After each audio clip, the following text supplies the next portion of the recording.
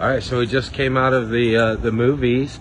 Uh, Tuesday Fun Day, discount movies. We're in um, oh Fleming Island, Yes. Florida. Um, we were at the AMC, great theater here. We saw Father Stu with Mark Wahlberg, Mel Gibson.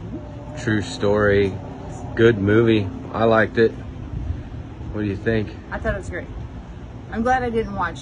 Not even. Well, I think we watched a trailer months ago in one of the movies that we played or watched, but Yeah. I didn't watch anything about it. I everything was a surprise to me. I thought the acting was great. Oh my gosh, I thought amazing! the story was was really uh, I mean always it seems like the true the true films are always kind of the best and Right.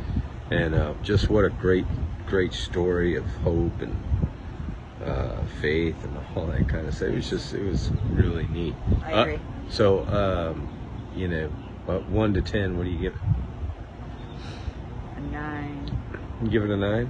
at least. Yeah, Okay. it had a little bit of everything. Give a little s- romance, yeah. a little faith, I give it a seven point seven five. some action. What? What? Right, I mean. I liked it. I mean, it's, it's you know. Until next time. Until next time.